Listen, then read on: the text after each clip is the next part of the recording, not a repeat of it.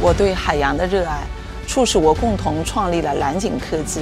我们专注于通过技术，把海洋垃圾转化为宝贵的资源。对我们来说，保护海洋不是一种成本，而是一个商机。通过将废弃物转化为资源，我们既减少了污染，又为沿海地区创造了就业，真正构建了一个可持续的模式。At Botanical Inks, we transform discarded fruits and vegetables into organic, safe, and high-performance inks and paints.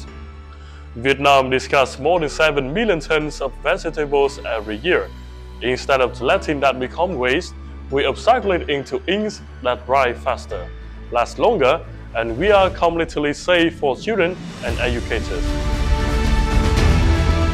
I'm a third generation recycler. I'm pushing the boundaries with AI, IoT, and digital circularity, bridging tradition with innovation. Our platform, Natalie, empowers businesses to optimize and transform waste into value.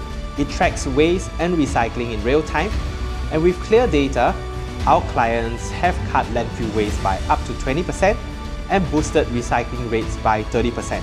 These are real progress towards zero waste and smarter resource use.